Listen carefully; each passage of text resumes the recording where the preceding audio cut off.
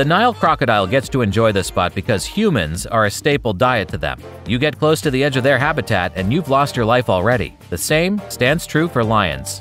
People fall prey to Nile crocodiles in the hundreds every year. To facilitate this vicious behavior, nature has bestowed this species with the strongest jaws, the toughest and sharpest teeth, and a heart of steel.